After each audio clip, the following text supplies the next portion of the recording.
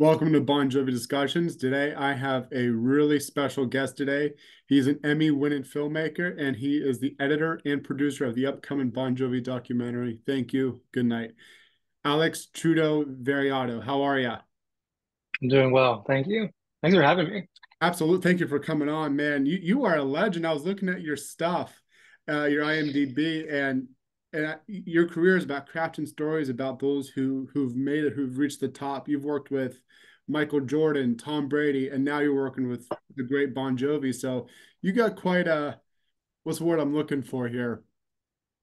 Quite a few names there that you've worked with and stuff. And uh, so yeah, yeah it's, it's, it's truly great to have you on. So, oh, thank you so much. Yeah.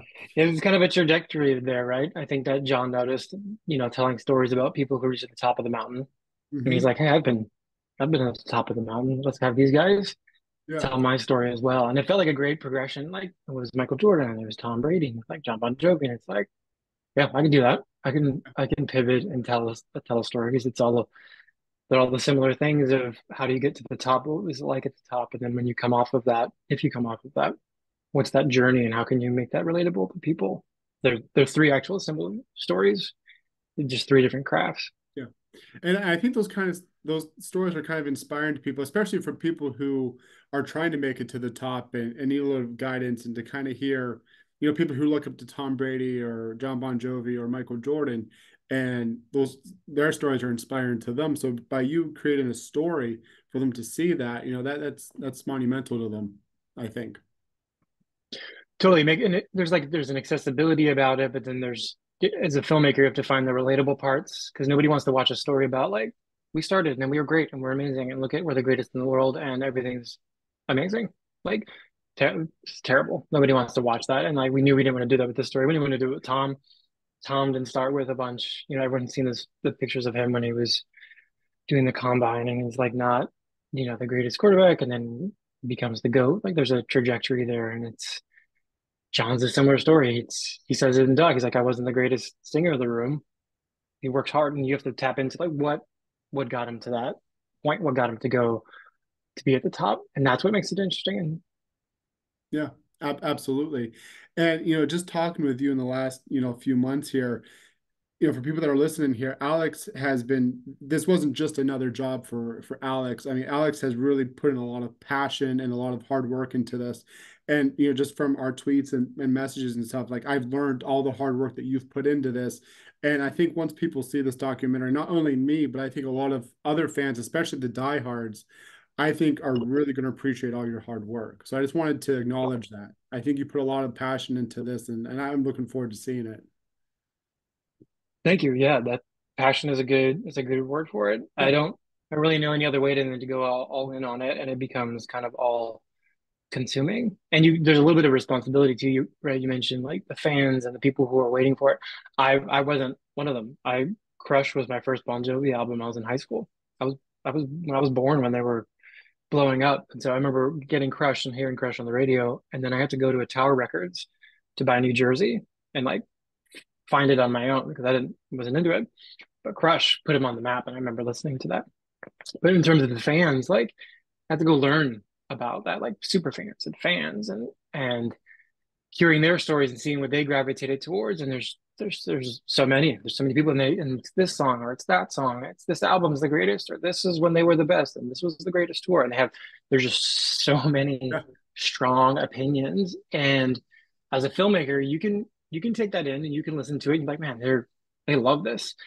But the moment you try and service those uh expectations or opinions and you're failing as a storyteller? You're you're if you're if you're trying to hit all those beats like your experience with living on a prayer is different than mine. And if i try to satisfy what you wanted out of it instead of servicing john's journey in this then the documentary is going to suffer because i'm just trying to hit these things for all these different people. And everyone's expectations are they're not all going to be met. Everyone someone's going to think that like dry country should be in there. Like, why dry? That's the most important song. I need to do this. And if I don't do that, I don't meet their expectations. And now it has thus failed because of that. So you just have to listen to it all, take it all in, and then just look at the material you have and what's what's the story. Where's you know, as corny as it sounds, like where's the human elements? Where's the relatability?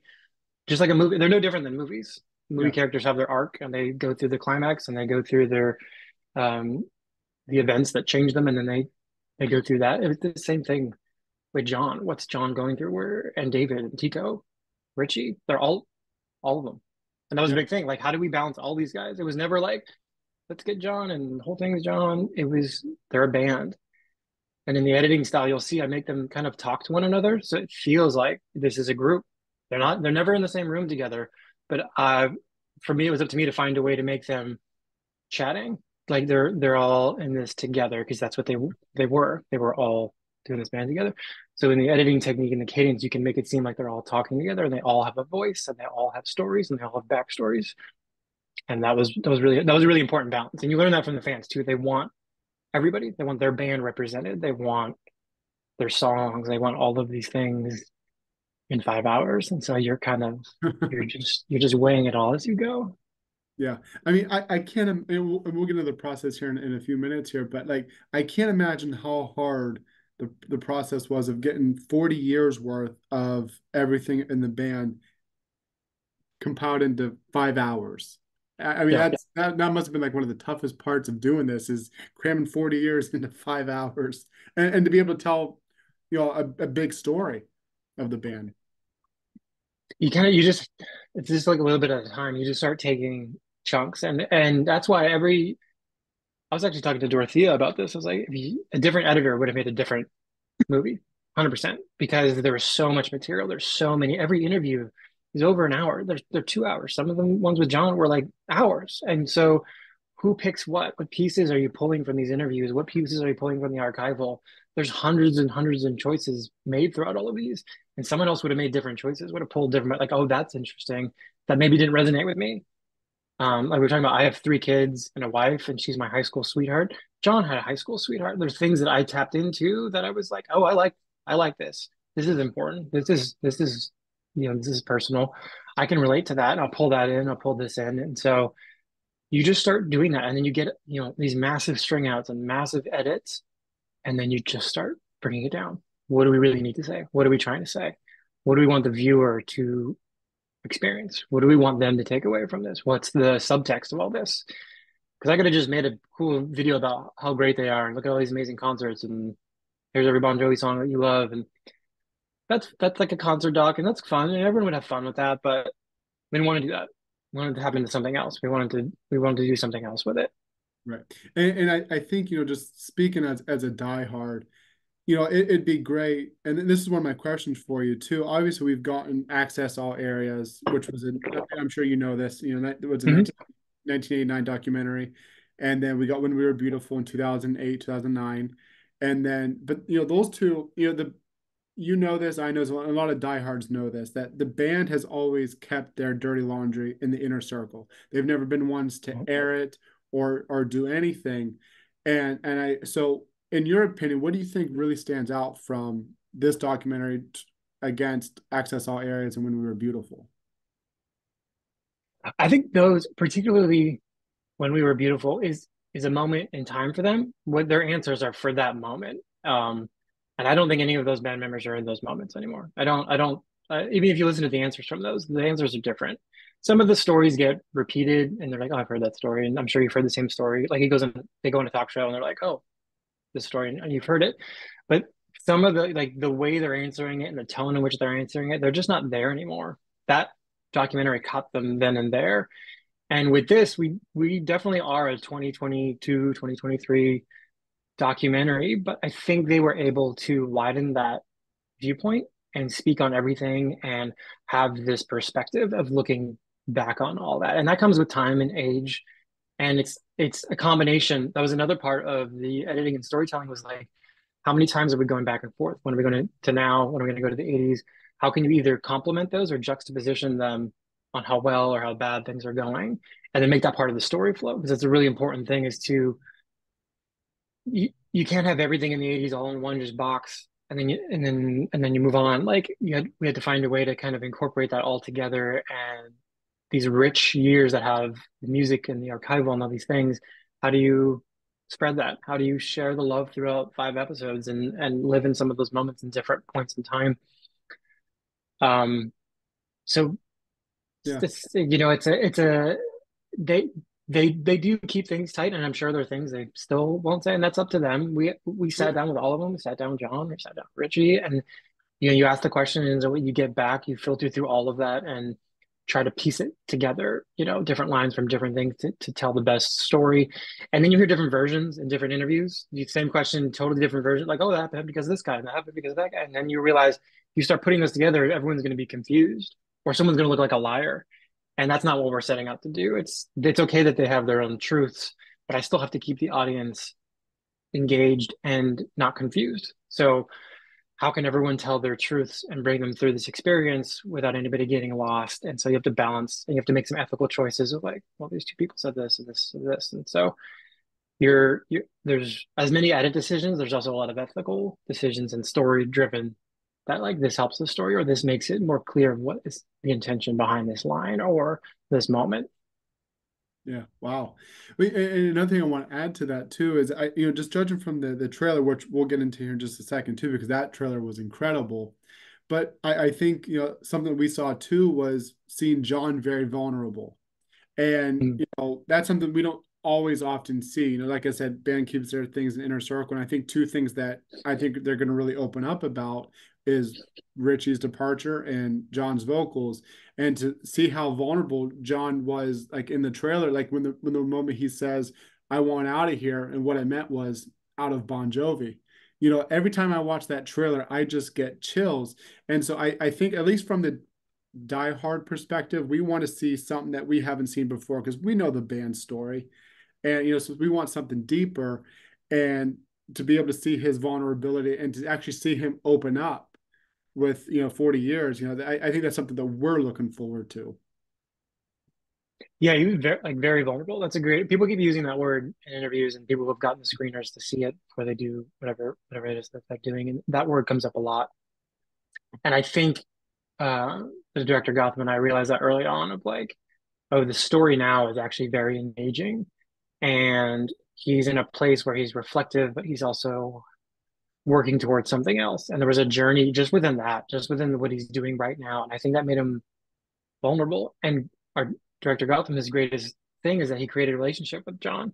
So if I'm in the edit and I'm going through hours and hours and hours of footage, he's with John, filming him in real time. And that's where our dynamic comes into play. He has the relationship.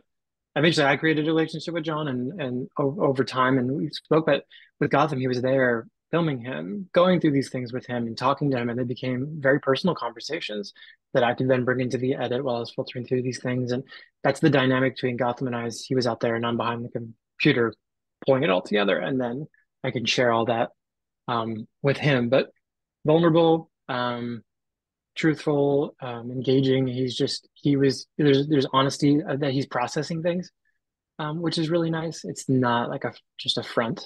Um, so I think that's you know that's a big part of where of when and where we caught them. Because I think if we made the documentary now, it'd be different because he's in a different space. You can see him going through the interviews. And yeah. when he just was in the UK, like it's a different tone. It's a different in a different space. Yeah, and, and I think something like a lot of us as, as fans notice is John is more joyful now, you know, compared to the last ten years because he's had a lot to to deal with, and and we're just loving to to see him so happy now. And so I think, like you just said, you know, like the last few years is a completely different time than it is now, um, which is which is great. How much? Uh, so, yes.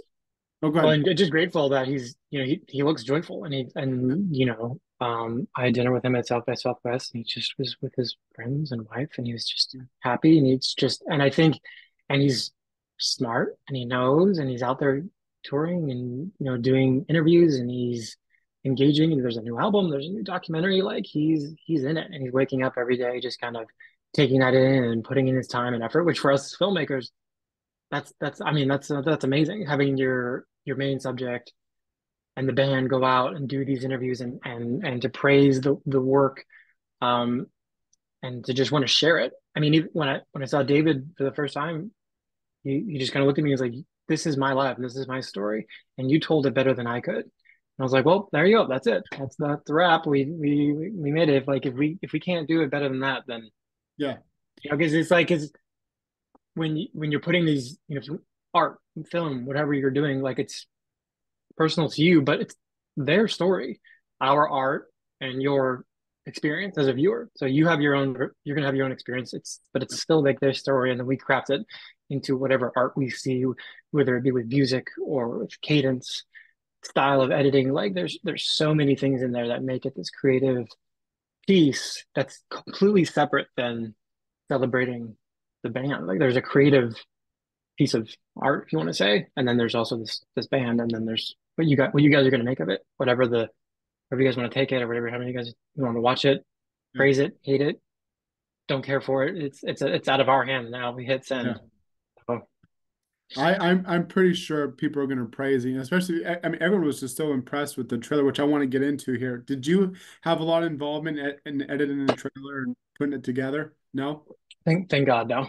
Uh, no, that's a different mindset. When you're, and it happens all the time. You'll be in this like long form story mode, like oh, I got to figure out this hour story, and then someone's like, hey, "We need like a sizzle or like a trailer," and you're like, oh, "Like that's a different beast." It's so you got to be on it. You're cutting something completely different. I've cut trailers. I can, can do it. We can all mount up and make this trailer. But that was that's Disney. That's Disney's marketing department, and they crushed it. They made it was it was so satisfying to get a trailer and be like, I had no part in that. That's amazing. Great job. Like we gave you the whole thing, and you came back with something that I think is is great. So super satisfying on our end to have Hulu and Disney like marketing just on it, and they've been and and with the print um, the interviews, the events, Hulu and Disney has been nothing but a great collaborator and partnership. For I know, and I don't, I know John feels the same way, and I know that's why he wanted to choose them is because they were ready to to go all in. They believed in it, and they they knew they had something that was just more than a, a rock doc celebrating loud concerts and, and an 80s band. They knew they had like a real story. Yeah. And like I said, the trailer was was well done because you know we, we talk about putting 40 years into five hours, then you put five hours into what a three minute yeah. You know, it, it's yeah, hard to do, but they, you know, tell them the story how about how the band got together, then they get into Richie, then they get into John's vocals, and you know, I, they did a really good job at that. It's an it's an art, it's a craft in itself. Yeah. I've worked with some really great. I remember I was doing a project and they were doing the Game of Thrones trailers right down the, the hall from me, and you just hear it over and over and over. And it's like a 30 seconds, but they're working on it for weeks. 30 seconds, just weeks and weeks and weeks. And we're over here weeks and weeks on a on five hours. They can do the same thing, just making sure that trailer, every shot, every moment, everything is dialed in. Every piece of sound design is exactly as it needs to be. Because you get one shot to promote this thing and get people interested to watch it because there's seven thousand other things to watch. Um, they're they're very good at their their jobs, trailer editors. And the last thing I wanted to say about the trailer too is the way that they incorporated the music, especially with living on a prayer and stuff. You know, like you, there's different parts and stuff, and yeah, and I thought that that was like really good too because then it just gives you chills, you know, in, in special parts. So I thought that was. Cool. Well, that so I remember early on, so we knew we were going to get a composer. So I'm really I'm huge film score buff. So I was bringing on all these film scores that I loved to that I would love to work with that we could never. They're millions of dollars that you can just like they're from big movies and that became my temp score that I was using. And I was using one from Free Solo, which is this live, live quartet. And I really liked that it gave John the cinematic experience that wasn't Bon Jovi music. Let's give John like a like a movie character gets a theme and he gets a sound and he's going through all these things like a cinematic movie. And that became part of it. And I knew I was like, well, what if we bring in stems from Bon Jovi songs and we use his vocals and we put score over that? And so I had Obie O'Brien, who's been with the band forever, and he separated some of the tracks for me so I could get the vocal tracks and I could put them under score. If so, if I didn't want Tico or I didn't want Dave to distract if someone else is talking or someone else is doing something, I could keep some Bon Jovi DNA without completely making it impossible to hear what people are saying because they're battling a rock and roll song. So I worked with our composer Miles to like, how can we? Where's the score here? And how can we bring in John's vocals? How can his his his vocal track be part of with these interviews? How could we use these songs to be integrated with what they're saying as just like as if it's another interview almost sometimes? And so we really got to flex on that in episode four. Now all these songs to pull from as as he becomes a better storyteller as he becomes a little bit more prolific with, his, his with his lyrics. I could pull those apart and put them to a score and now it's a totally different sound and now it's a totally different meaning.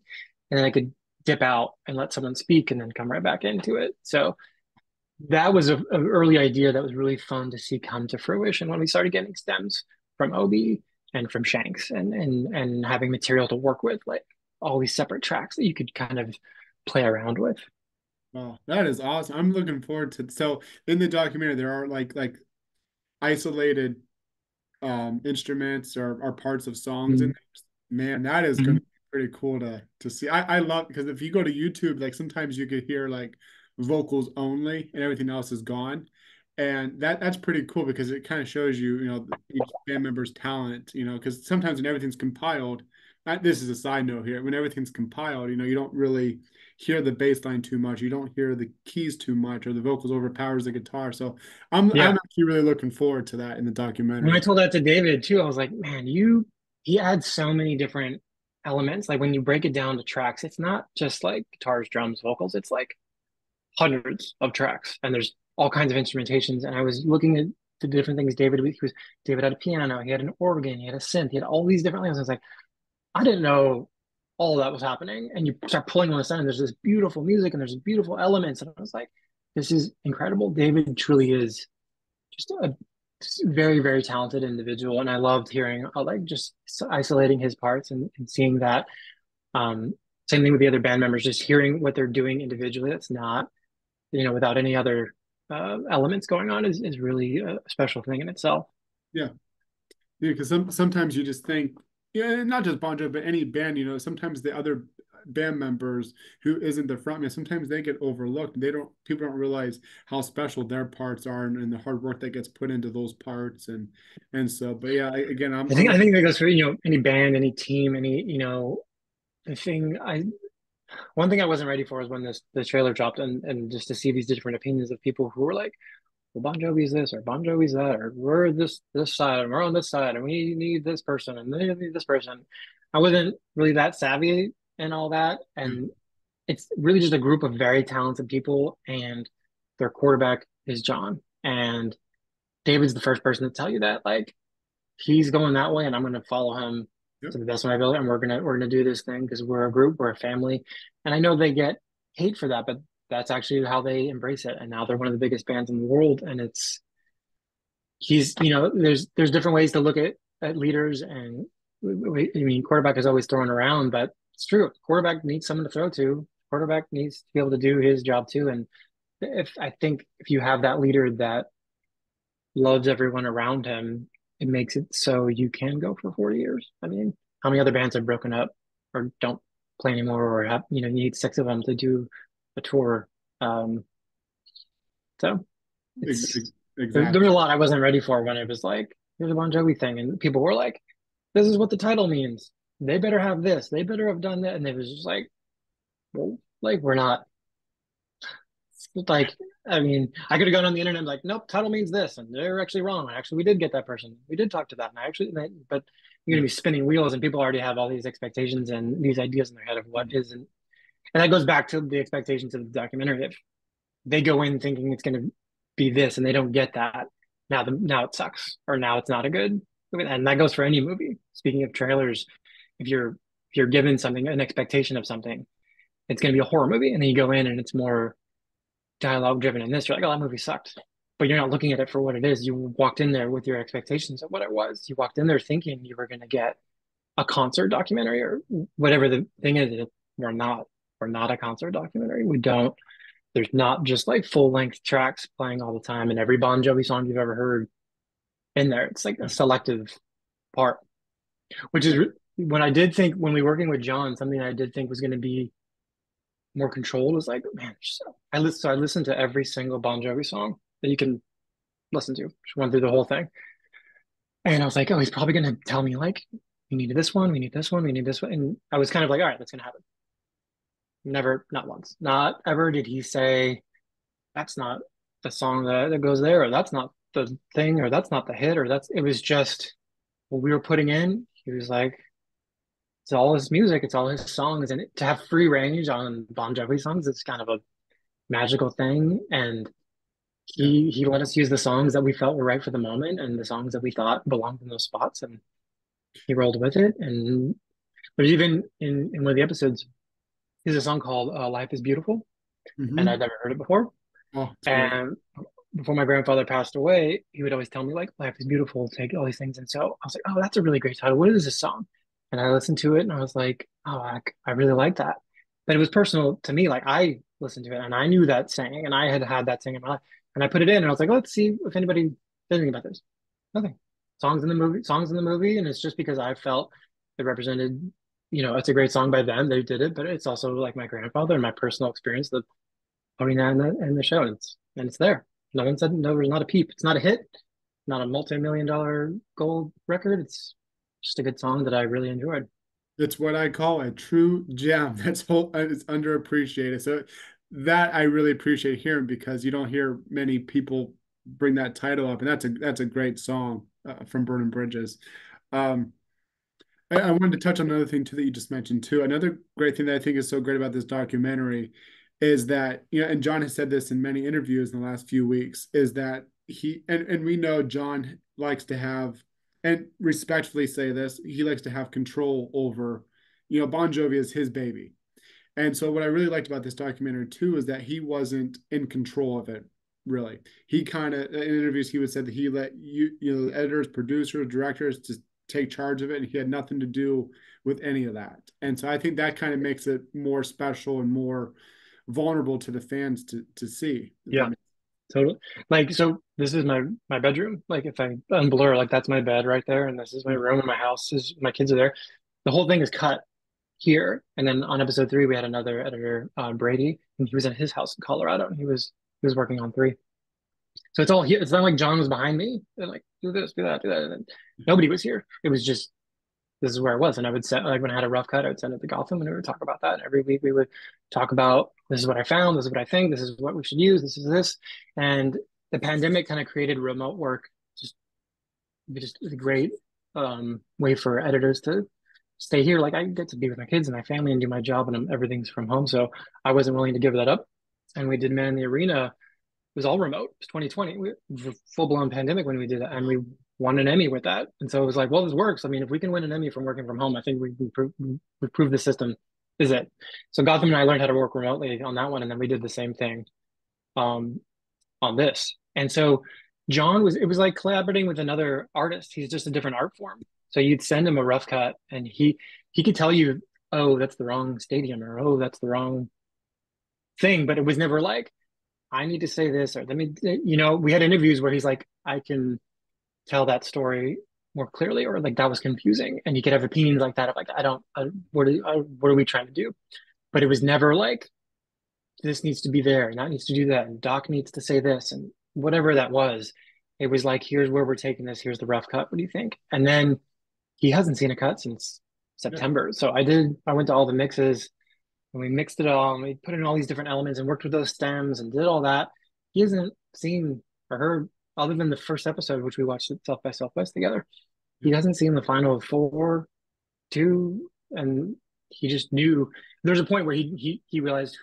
he could trust us and that we were yeah. we were going to do service to the to his band and all the band members, and we were we weren't out to be on anyone's side or make anyone look a certain way or or project some sort of narrative. Like like you were saying, they were pretty buttoned up, but they also weren't the drugs and rock and roll. I remember that being one of the first things I thought like, oh, this isn't a drugs and rock and roll documentary. One, the footage doesn't exist. There's no like yeah. of them blacking out or passing out on stage. So it, it wasn't it's not there. But it also wasn't really their story. It was something else. It became more about hard work and persevering and family and brotherhood and believing in this band and what they were doing and their fans. It became about that and not look how crazy the 80s were. And look how many drugs and alcohol and things you can do like that ain't it like yeah. I, I don't really think i could have told that story. Yeah. And i i, I think that's like a story not a lot of people would even care. I mean I, I guess it depends on the audience i guess but we know bon is more than that you know and, and that kind of brings me to my, my next thing. So when when backing up just a little bit here i know you talked a little bit about the process but when this first got brought to you um did it did it follow the 2022 tour in its entirety, or uh, I'll let you touch on you know how it started and what you followed the band on and how long filming took? I, sure, yeah, I got the call. I was standing right here. Um, we had just finished Man in the Arena, and I said John saw Man in the Arena and he wants me to do it. Um, I was like, oh, Bon Jovi, we like that. It's a great band. I remember Crush and these things. I have, I have my memories with them. I wasn't really familiar with uh, Toast Not for Sale and some of these other albums, but Crush was a big was a big thing for me. Um, and I was like, huh, I wonder what what I have to what you know what interesting things I have to to contribute as an editor filmmaker. What do I have to say about Bon Jovi? And I looked into it and started listening to their newer stuff and started 2020 and this and oh Richie, I remember you know he left the band and who's what's Phil X? What's a Phil X? Um, and um, that was kind of what I was. But they were like, what would you do with it? What would this look like? What would what would a Bon Jovi documentary like if Tom Brady is this man in the arena thing? What's Bon Jovi? And I said, all right. They had one interview, and they sent it to me, and I spent like three weeks doing three scenes. And I said, let me see what. Let me collect. I just collected footage from the internet. It wasn't even like real. You could never have shown it. It was just like I just pulled in a bunch of stuff, and I was like, okay, this is there. And he was talking about songwriting, and he was very passionate about songwriting, and that was like his his number one thing. Like if you don't have a song, Richie says in the documentary, if you don't get a song, you don't got shit.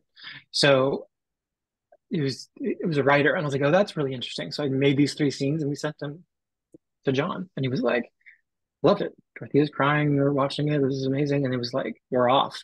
So that was in 2022 and they're like going to do this rehearsal thing and then it turned into something else and they're doing these things and he's going through his journey and then you're like episode one took so long because we are like what is this thing how many like are we going we going to be doing the old stuff or is it doing new like what's happening in real time and it took a long time to find the cadence of 80s 2022 and then what story where is this and so it was months of just episode one just recutting relooking at it getting new material because he had all these tapes um, in his basement, but it was coming in in batches. One week you'd get 50 videos, the next week you'd get one. You never knew what, how much was coming in and if that one piece was going to change your whole edit. I'd get a piece and I'd be like, oh, well, that's the anchor for two. So I got to redo this whole other thing because this one piece of material is better than anything I, I have. And now I have to re shift the focus to this part and use this because this is really great. Um, so it was like a moving target for a very long time and then it kind of it kind of settled and then we were just like full steam and then it was we knew what we were doing we saw it there was a style in one there was a cadence in one and there was an artistic element and it was like oh that this is so this is our show. And that's going to be two three and four. And they can evolve over time which they did because you're two years into it. You're a different person. You've seen different things. You've experienced different art music movies references. And so four became a you know flex in a different way. It was it grew into to something where I, I had fresh ideas and fresh creative ways to edit, and I would go backwards and implement those on, on previous episodes. And so it was always changing the whole time we were making it. It was always uh, moving. Wow, that's incredible. So so it starts out with you know them on the rehearsals and 2022 tour, and then it kind of moves forward to 23, early 24 maybe. And you just kind of, like you said, you kind of see John and the band evolve as they tell their story of the last 40 years. Yeah. So there's a balance of how, like, you know, what they're, where they are now and how they got to that point. And then what do you want? How do you bounce? How do you tell those two together? Because some of them, like I said before, some of them juxtapose each other and then some of them are complementing each other. Something that happened in the 80s and something that happened in 2022 could be similar or could you could put those ideas together or look look how far they've come or look at these things and so get to tap into those moments to also give you the real time john because real time john is there's a relatable element there of like what if you can't do the thing you love anymore? If he thinks he can't be the greatest singer then he doesn't want to do it anymore. And i think that becomes a relatable thing. Age and time catch up to a lot of people and like you have to make choices. You can't do the thing you love anymore. What do you do? What do you do now that that's the thing that you're known for that, that you're world famous for? That's a whole other level but that's a relatable element. You love to do something and now i'm telling you you can't do it anymore and then what are you going to do about that? Um, how do you process that? And so that became a really strong thing for me to thematically to hold on to of like people can relate to that. I've done i have things that i love that maybe my time or my priorities in life don't allow me to do anymore. And so that be, that's now a movie that I can have reflecting in my own life, my own decisions.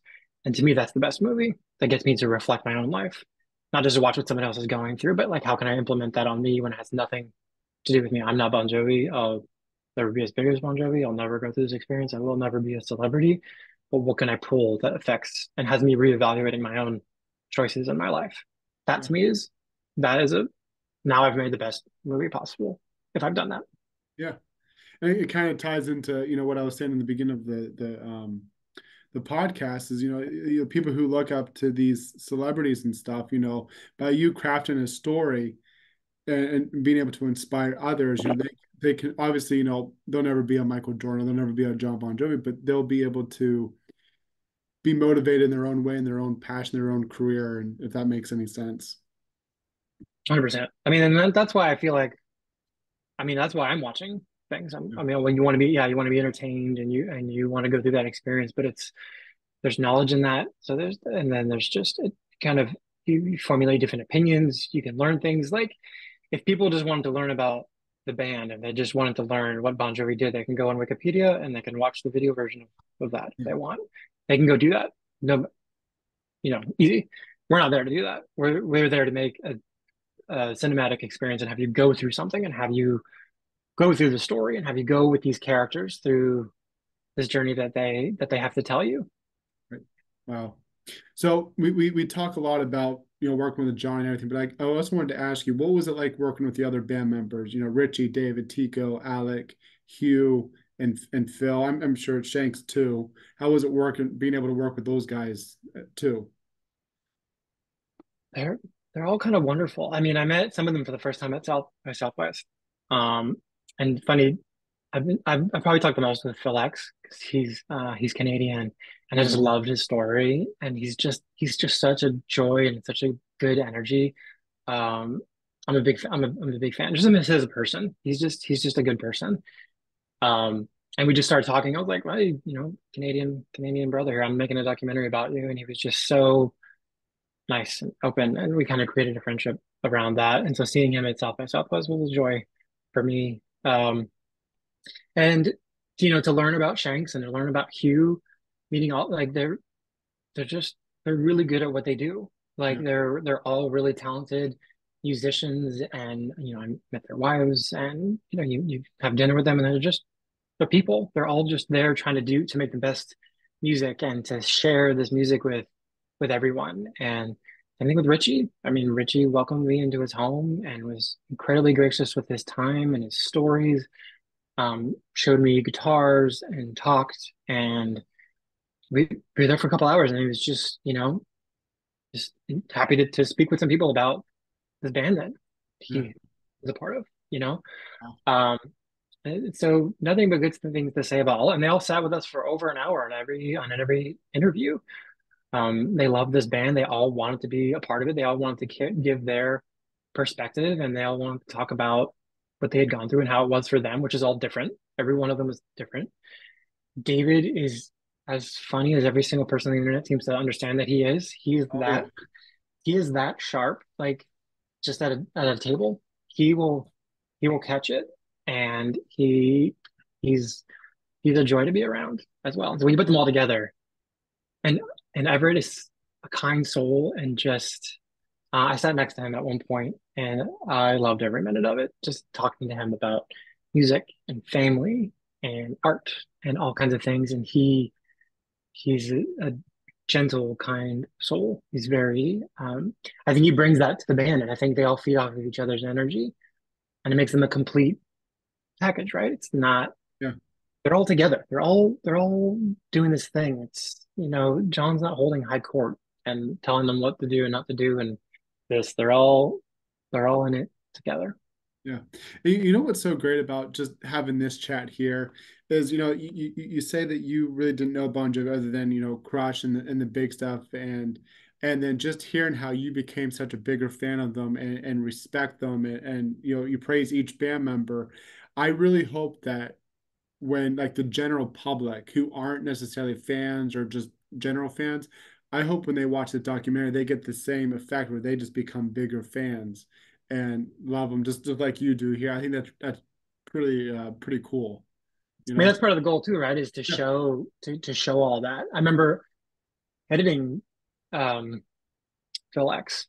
I had a long long story because I mean, what? You just came in and then now you're the guitarist for Bon Jovi and like you were just recording, you're making YouTube videos and now you're on stage with Bon Jovi. Like that is the wildest thing I've ever heard. And such like people can just be so good at something that someone notices it, and then you're up on stage and I get the lead guitarist for Jon Bon Jovi. Like that's wild, and it, was just resonated as like that's an incredible story. I don't care whose side or what you think it was or wasn't. Like that, there is a good story, and so just putting that putting that there and showing his his his origin story um is great. And I think people are gonna be like, man, this guy's guy's cool. Like this is a cool story. Like what an incredible journey to get to that point and look at all he brings to the stage and look at the look at the energy he's putting on this on this stage and look at the joy that they're exuding together yeah him and everett phil and everett especially you know just seeing them on stage just so happy to be and obviously you know they're the the newer members you know phil's obviously been there for right. 13 years everett's worked with john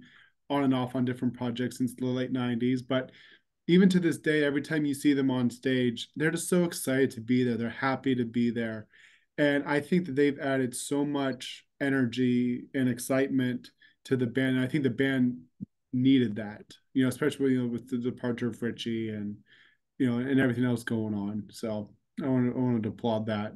Um, big a big question is, and and I don't want to spoil anything. Whatever you want to say about it. So we know Alec, you know, passed away in June of 22, just a few months after you guys got started.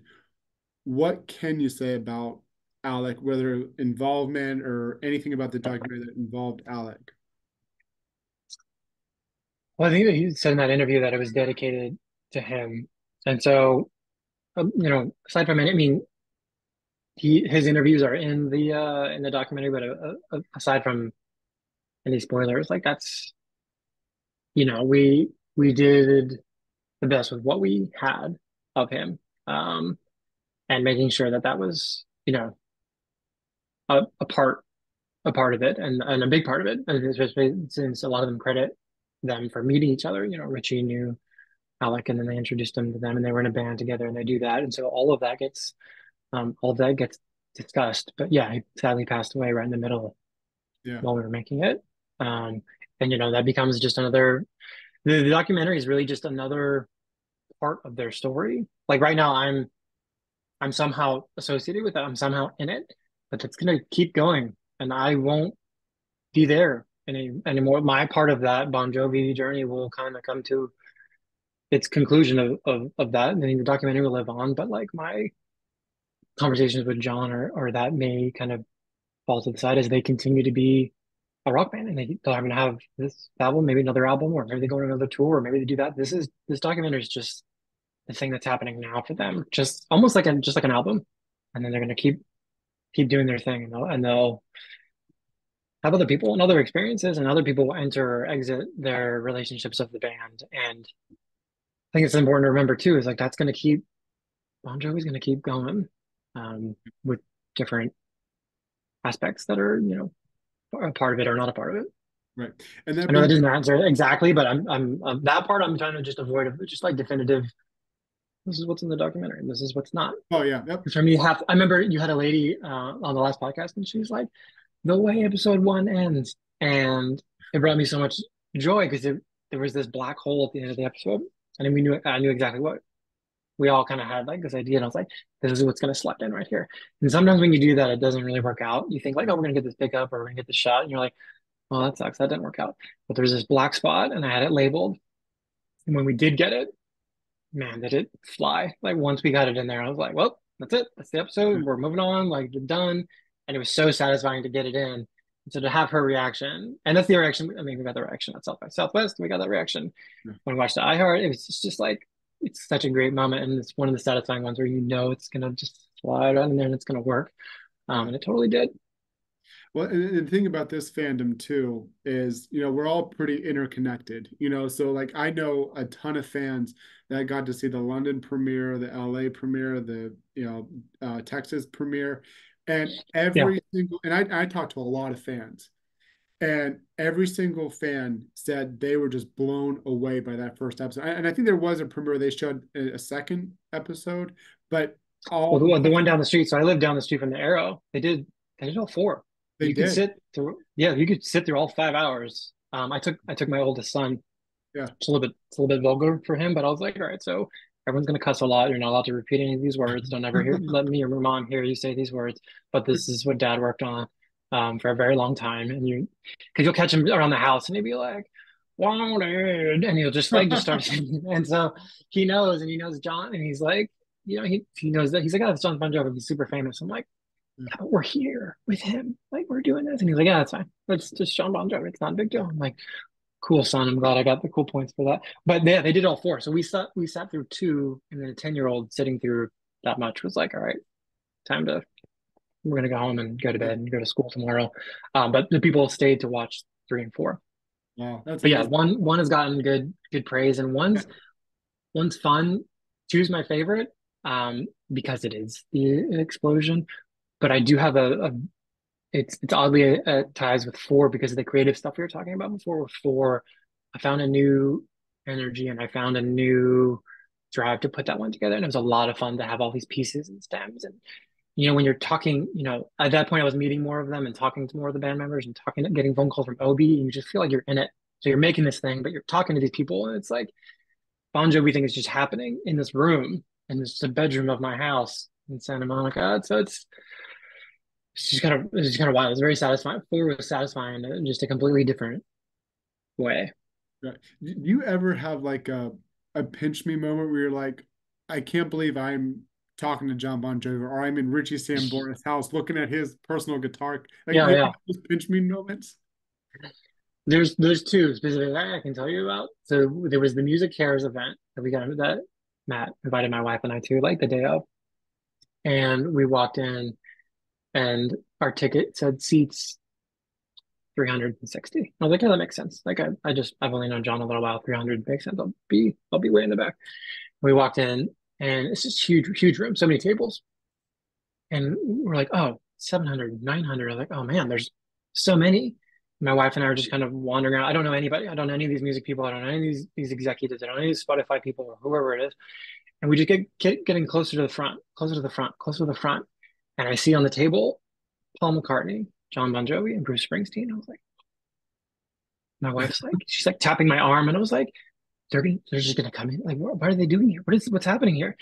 And then she turns around and she points at the table, and our names are on the table right behind that, like directly behind it.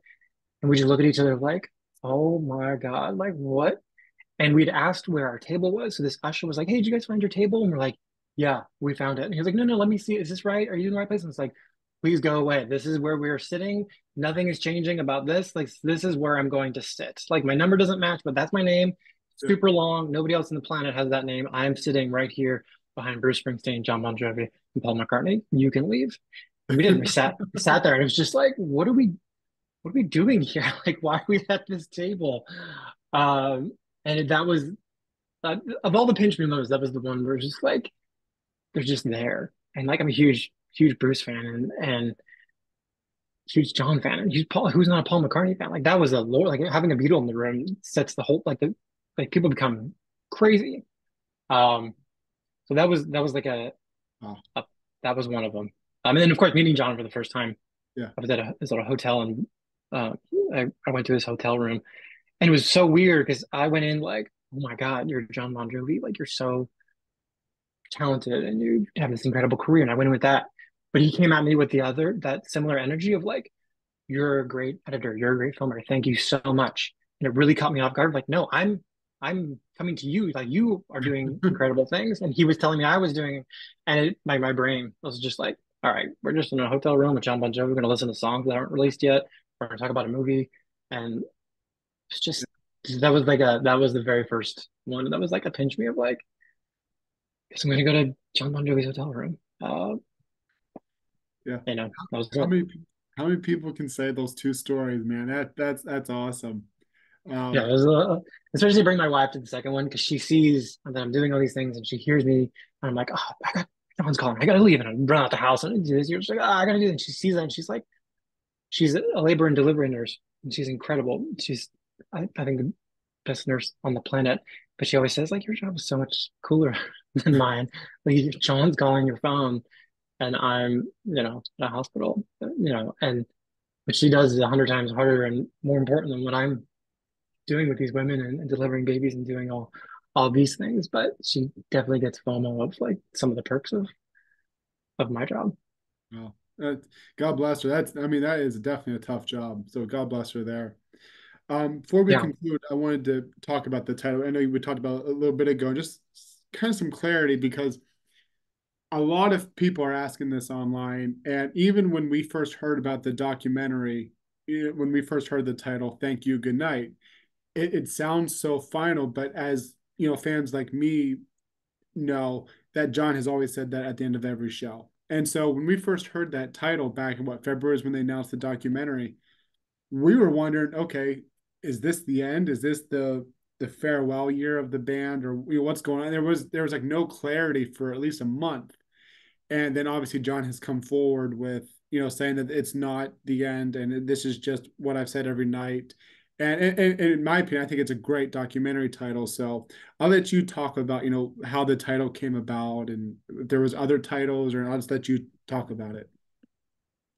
Yeah, he talked about it. Uh, actually, the last two things I went to him with people ask that. It seemed to be a big thing. Like, are you telling us goodbye? Like, are you telling us this is the end? We're going to end this thing and thank you, good night. And I never, I actually didn't until the internet thought that that was what it was. I didn't really think of it like that. I thought of it like you guys were saying at the end of a concert. Thank you, good night. Like, and that goes back to this being just another chapter for the band. I think it's thank you, good night for this concert, this thing, this documentary. This it's just when he says it at the end of a show, he's not saying I'll never see you guys again. He's just saying thank you for putting your time into you know with us thank you for finding a babysitter and getting tickets and doing these things and spending three hours in our case five hours with us like thank you for sitting through that you could have done a million other things thank you good night i think represented that is just an appreciation to everybody the only thing the only other thing we that was there was that he just didn't want it to be some title of a song like every other rock documentary he didn't want it to be living on a prayer or the bon jovi story like that was the only really the only opinion from him that i remember hearing of like we can do we could do something better. Let's find something more personal. That's not just like shot through the heart. The documentary. That's not that's not what they wanted to do. They wanted something else. And when they said thank you, good night, I was like, that's actually a lot. I really like that. I think that's a good. It's a great. It's a great thing. You know, you go on the hunt for you, good night during concerts and, and putting it in there and like.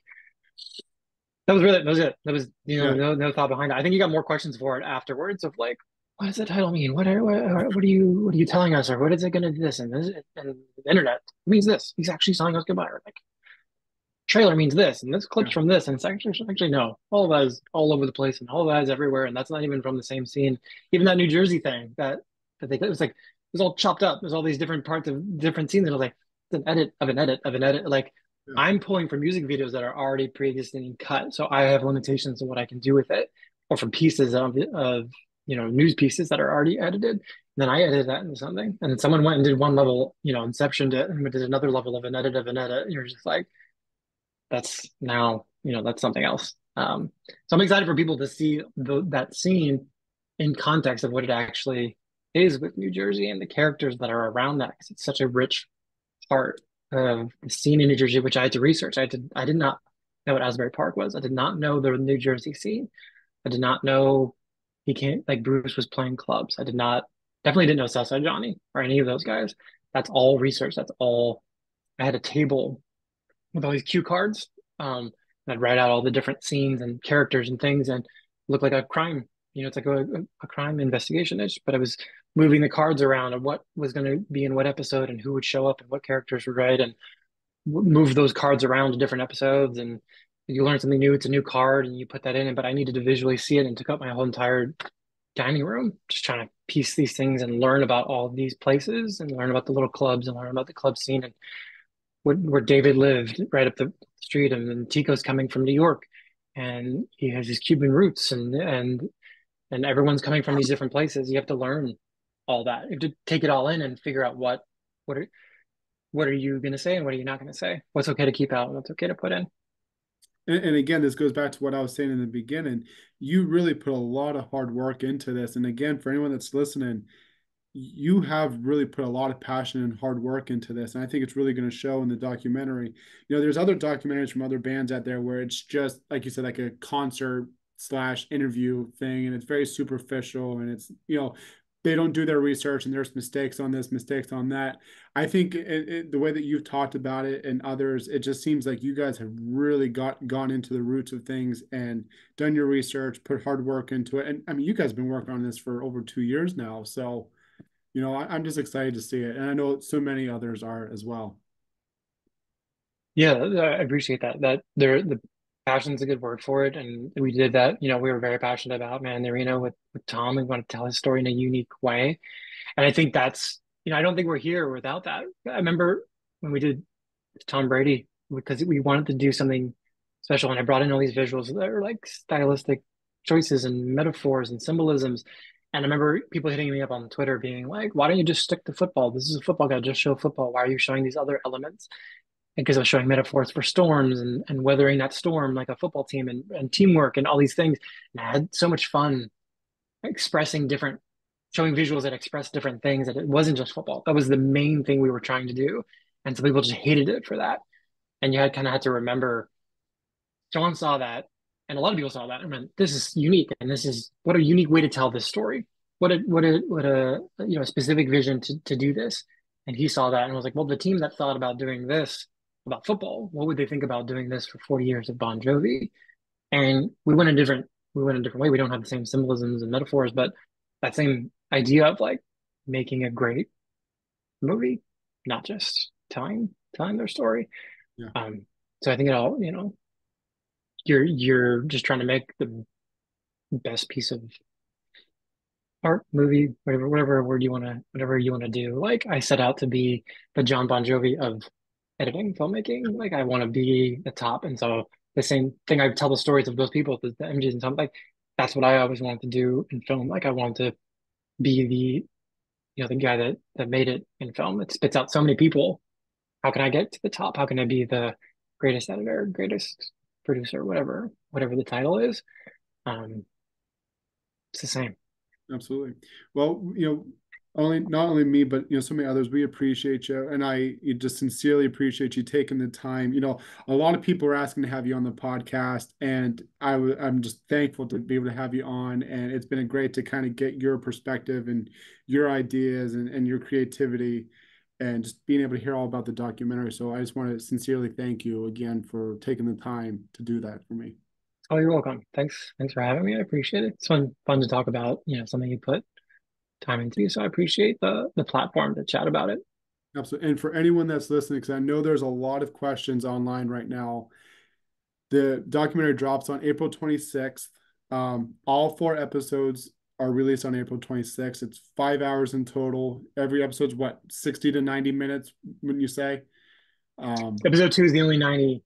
90 minutes. It was, it was damn hard to get it down to 90 as, as it was. It was just this full, rich thing. And and you know, we're talking about it was a rough cut. It was like two hours long. I'm like, we can't kind of a two hour episode. It's a, it's a movie. And eventually we got it down to 90. Even that. I still I still can't watch it without thinking like, oh, I'm gonna make it shorter and do this. But episodes one's a quick 50, and then the other ones are a little bit they're a little bit longer. And we just kind of leaned into like, well, they're gonna be they're gonna be longer. If it works, we like we never had a limitation. It wasn't like, oh, these all need to be 60. Like nobody cares. If it worked, if this was the best version of it, it was 47 minutes or 69 it didn't matter. Like whatever was the best version. And 90 minutes we felt was the best version for two. There was just too much to say. And we may not get another shot to to say some of these things. So hmm. that's what it was. So the second episode's 90 minutes and every other episode's what 60 give or take? Yeah a little bit more on the on the back on the back too. Perfect. Yeah. And where people can watch is america is hulu overseas is disney plus and then latin america is star plus and then release okay. times just vary between country to country. So, um, yeah, I've seen a lot about that. Like, oh, what time for for me? What time for you? And that's above above my uh, my pay grade in the who Disney department. I don't know when. Like, I won't be I won't be awake. So people are staying up, by all means. But I don't know what, exactly what time those are going to launch at. But 26, 26 is the day. Yep, I know that I am uh, staying up. I'm going to stay up all night. I am going to binge all five episodes and and maybe do a podcast about it and then get a little bit of sleep and then later on the, over the weekend i'm going to watch it again i'll watch it again here i'll watch yeah i'm going to watch it a ton of times so i don't know if anybody i don't know if everybody should do the five hour but you could easily bucket them like one and two maybe go to bed this maybe not for you, but for other, Yeah. you know, one and two, go to bed, wake up three and four. Like they can, like you can kind of pair them. So if you didn't want to just do one, as you know, we were talking about one ends, and you're just like, get it's one of those ones where you're just like, get another lip. Here we go. It's eleven o'clock. I should go to bed. I got got kids and I got to go to work. Nope. Let's start the next one and just Yeah. that's how I felt it. You know, watching it, and sometimes as editor in the team, you're watching it, and you forget you're supposed to be watching it for certain things. You just watch it, and that's when you know you've made something good. Like my assistant editor Charles would tell me, I know I was supposed to be watching it for this, but I actually just got caught just watching it and just like a like a like any other thing I just watched and it didn't do the things that I, I meant to be doing on it. And it takes time to get to the part where you feel like you've made something great. And I and we got there with this one, in our opinion. Like I can watch it and just be like, this is this is a great documentary. Well, I have been looking forward to this documentary for years, ever since we heard the rumors about it. So anyone that is listening, do not underestimate me. I promise you, Thursday night leading to Friday morning, I am going to have all five episodes watched, all four episodes watched. So, um, anyway, Yeah, uh, I'll wake up and you'll be you'll be primed until you figure it out. You know, with your questions.